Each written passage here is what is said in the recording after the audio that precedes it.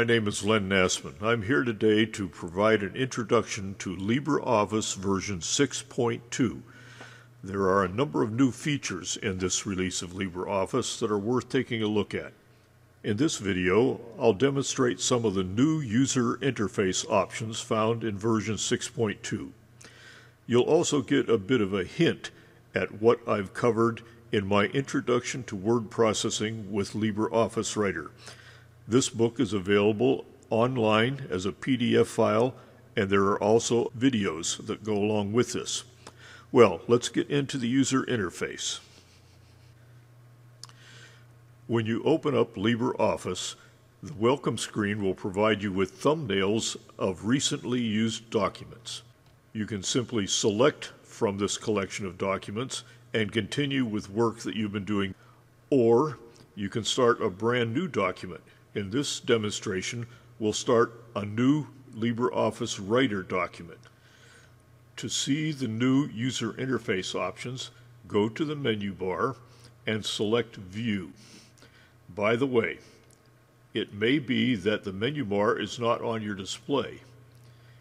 If that's the case, go to this tool in the upper left corner of the display and when you hover on it, it will show the term menu bar and select that. Select means to left click.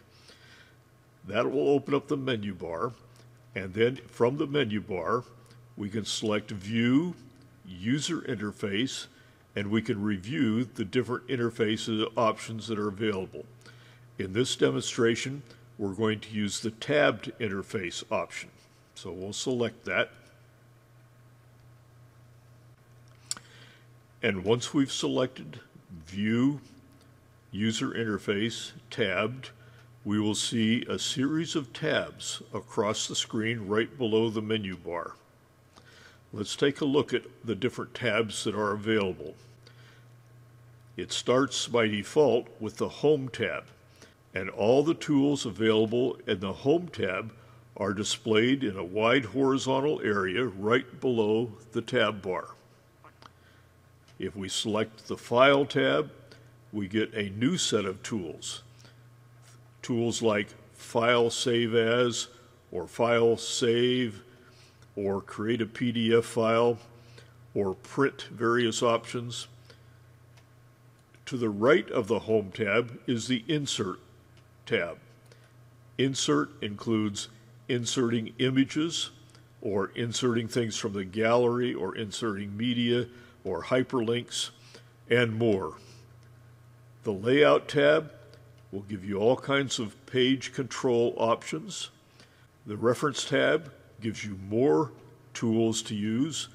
The Review tab may be of interest because that's where you can find the spell checking tool and even a thesaurus if you need that. There's a View tab that, that allows you to change what is being viewed one of the things that I always use is the formatting marks tool, more about that later. And then there's a Tools tab, which gives you an additional collection of tools. Let's go back to the Home tab, and we need to operate on something. So I'm going to add a bunch of dumb text to this document. Now I've gone off to the internet and I've copied some text and I've pasted it into this new document. The, the text that I found on the internet is known as lorem ipsum. Lorem ipsum. For many, many years, typesetters have used this strange collection that looks almost like Latin, but it's in some non language. They've used this to fill up space so they could check the formatting of things. And so I decided I would use that in my example here there are a number of different lorem ipsum generators that are available on the internet. Now that we have some text on the display, let's take a look at some of the options in the Home tab. Some of the things on the Home tab are similar to earlier versions of LibreOffice, and some are similar to other word processing programs. For example, there's a font style, and there's a font size, and you can use bold or italic or underlined. just to see what happens. I'm going to click and drag on some words, and then I'll select bold, and you'll notice that those words that were selected are now bold. By the way, this is a toggle. I click once, it's toggled on. I click again, and the bold function is toggled off. The same with italic, on or off, underline, on or off, and so on. One of the new things in this user interface that's now right here handy under the Home tab is this tool. And by the way, if I hover on these tools, a tooltip will pop up and tell me what they're for. This tool will increase the font size of whatever text is selected. So I can increase the font size, or right next to that, I can decrease the font size. Or I can click that little arrow right beside the font size indicator, and I can click a new value for that. Any value I like, all the way up to well, it goes all the way up to 96. Well, we don't want 96, so let's set it back to 12. When we have text on the display, and when we have some text selected, we can use these tools on the Home tab to adjust font characteristics. And we can even highlight or we can change the font cover color. We also have available the alignments, left alignment, center, right alignment, justified. We also have the bullets. We can toggle bulleting on and off, or numbered lists on or off, or outline style list on or off. We can also increase the indent, we can decrease the indent. And here again is the formatting marks toggle. Formatting marks are very useful to find out how the page has been formatting. There are a lot of characters in word processing that do not appear when they're printed. And so, for example, a paragraph symbol. Let me go to this symbol, which is a paragraph symbol, select that point, and press the Enter key. And if I do it a couple of times, you'll see that I've entered two paragraphs that have no words or spaces. If this was turned off, I would have no idea how that formatting was created. So I like to keep the toggle formatting marks option toggled on. I'm going to jump ahead here and tell you a shortcut that some of your best friends might not tell you, and that is how to undo things. I'm going to hold the control key down and press the letter Z. Notice what happened here. Control Z. Continuing along on the Home tab, we have some other options we have heading styles. We have update. We can update styles. We can edit styles. We can insert tables from here. And we can insert images from here. We can also zoom in and out. And we can toggle the print view on or off. Let me back up here on the Home tab to this area, which is Set Paragraph Styles. Now, Paragraph styles and later page styles give you phenomenal power in doing word processing. Let me show you how this works. Right now it says default style. That's what happens if I don't do anything else. I want to select all of the paragraphs in this document. I'll do a I'll use a shortcut. I'll click anywhere in any paragraph in the document and I'll hold the control key down and I'll press the letter A. So I've now selected everything, all of the text in the document. If I slide down here, you'll see everything is highlighted in light blue, which means it's selected. Now I'm going to change the paragraph style of all selected paragraphs from the default style to a text body style. Now watch carefully what happens. And now let me go back to the top of the display, top of the document, and you notice now that at the end of every paragraph, there is a space before the next paragraph. The default style didn't have these spaces. There is also found in the text body paragraph style a different amount of spacing between lines. Now, in the old typewriter days, you tried to control all this, or you had to control all this by hitting the Enter key to add blank lines between paragraphs. You never do that with word processing. If you want to have space between paragraphs, you control it by the paragraph style and not just by entering extra carriage returns, what we used to call carriage returns in the old fashioned typewriter days. So you should see now when we use the Home tab using the tabbed interface, we have immediate access to a large variety of character controls and spacing control or alignment controls and paragraph controls all here on this wide toolbar. You might have been noticing over here on the right side, there's a sidebar. At least it is on my display. If you don't see this sidebar, your display might look like this, and that's because the sidebar is toggled off. There's a quick key to toggle it on. There's also a way to say View Sidebar, and you, if you look close here, as you look at View Sidebar, you notice there's a shortcut indication. Control plus F5 will do the same thing as selecting View Sidebar from the menu. When the sidebar is open, there are a number of different options for the sidebar. Right now, the sidebar property settings option is selected.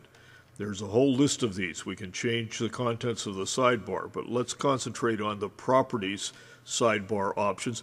Well, you'll soon notice that a lot of the controls that were in the Home tab are also duplicated over here on the sidebar.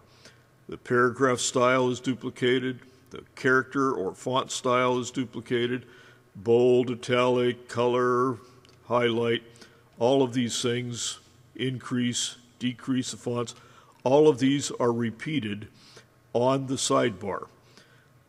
So this new interface gives us multiple ways to do the same thing, and depending on how we're working in the document, by being aware of these, we can work much faster. Let's do a quick review of some of the options here.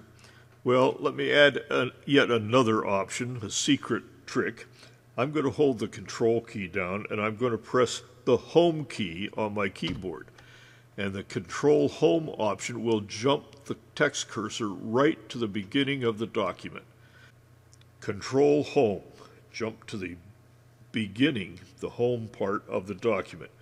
Then I'm going to press the Enter key and add a new paragraph. I'll put the cursor in the new paragraph, and then from the paragraph style choices, I'm going to select the title style, and then I'll type some words. And you notice that by selecting the title style, it automatically changed the font name and the font size at the end of that title paragraph and I press the Enter key, it goes back to the text body style that was being used before. If I choose the subtitle style and type a subtitle, and once again, the font name and size is now that selected by the subtitle paragraph style. Oh dear, maybe I should have capitalized this S in this word, a subtitle. Let me highlight that word and let me go over to format text and look at all these text formatting things. One of the things is I can say capitalize every word. I don't have to retype anything here. I don't have to delete the S and go back and put in an uppercase S.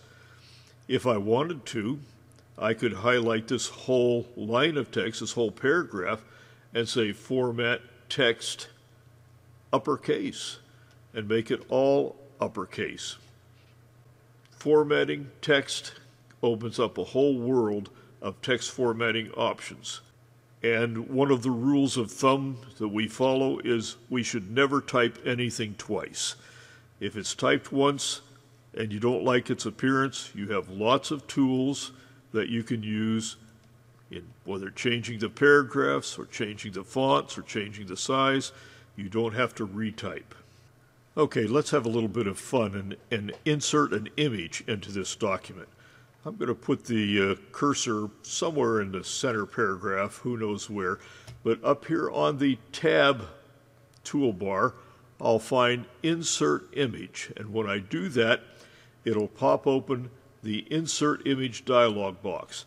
Now here, this is like File Explorer. I can go and find any of my hard drives or any folder inside a folder, inside a folder in a hard drive.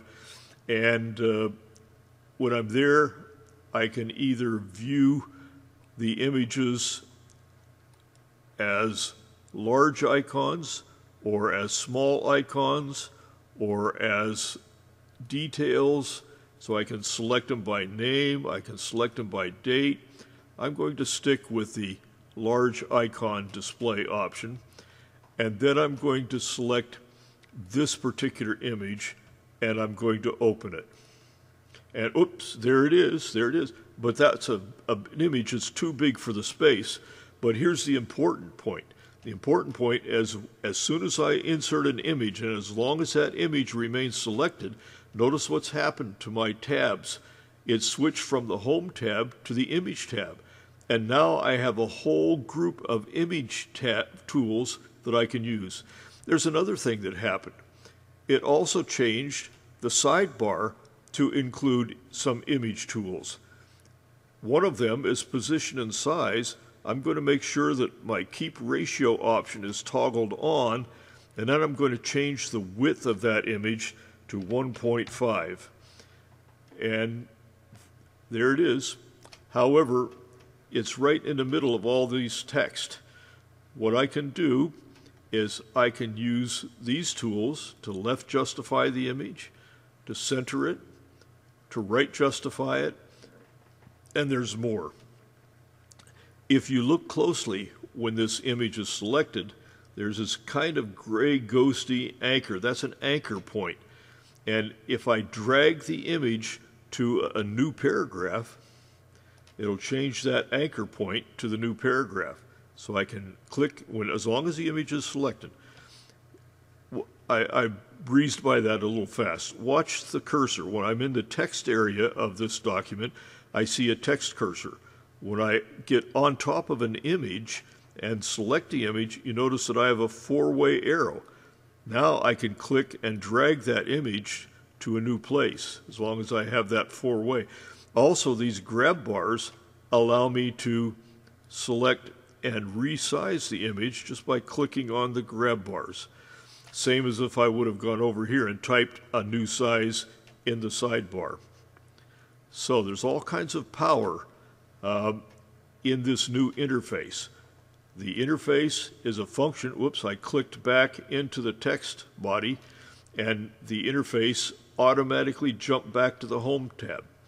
I click on a graphic image, and it jumps to the Image tab and changes the, the sidebar to Image Position and Size properties. Wow, all of this stuff is happening faster than you can blink, but it allows you to work much faster when you're creating documents.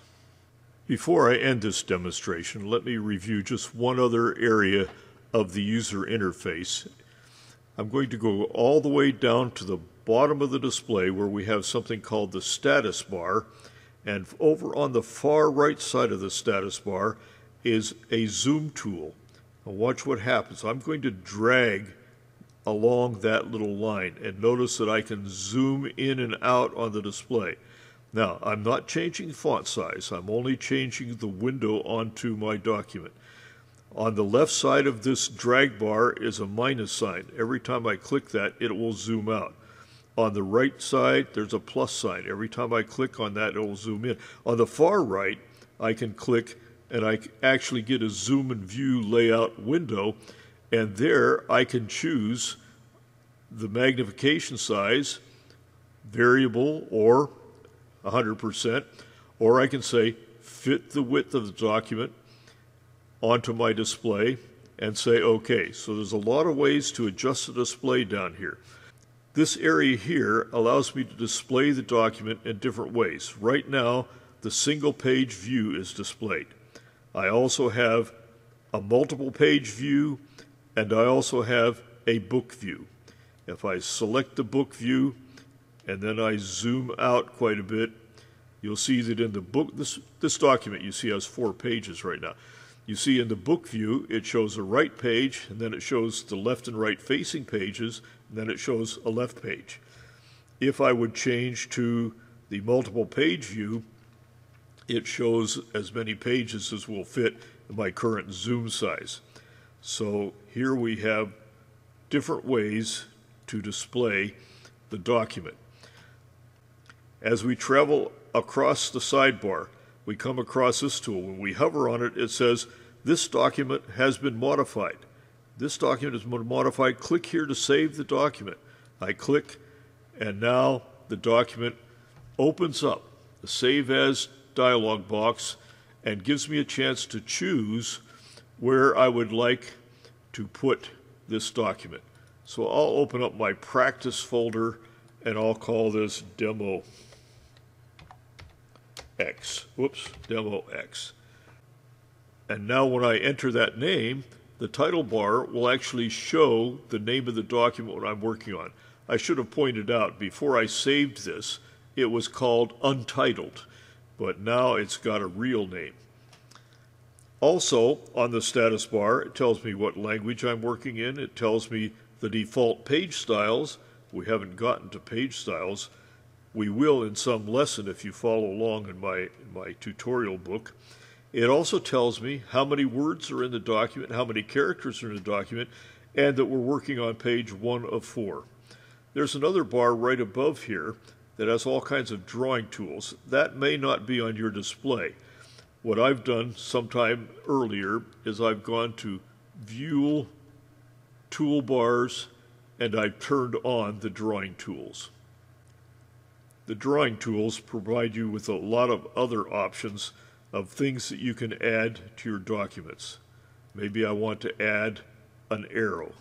I'll just draw that out. Whoops, covering up the document. So I'll use the uh, page wrap Maybe I'll use the uh, wrap left tool and there's my graphic, my drawing object added to the document.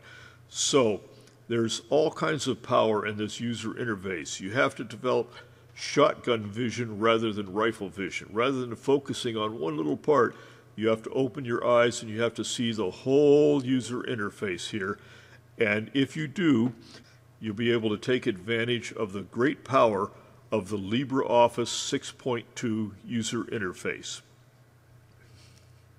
And now it's time for a brief commercial message. Well, it's not truly commercial. I have created Len's Introduction to Word Processing with LibreOffice Writer, and this is a collection of a number of different lessons, tutorial lessons that are available in PDF format. The format that I've used for years in developing tutorial materials is to provide information about things like the user interface, but provide detailed steps using a project-oriented approach to learning. It's a learn by doing approach. It's not a reference manual, it's not a demonstration, but it is a tutorial that leads you through a set of processes that will take you from being a beginner to being a power user of LibreOffice Writer.